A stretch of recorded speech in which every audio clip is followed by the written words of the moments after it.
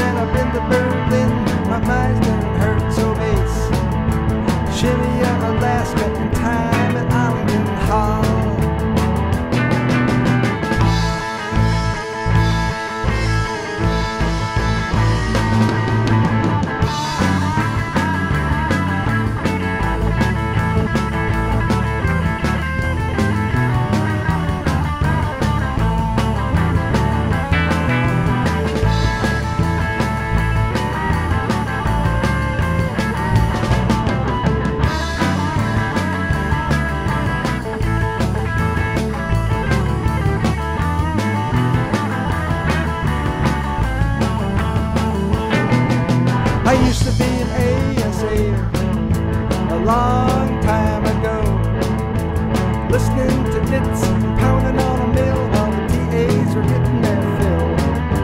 Flare nines and R390s and Milky 24s. We were ASA and you could tell by the patch we wore. I'll always be an ASA thinking about long I can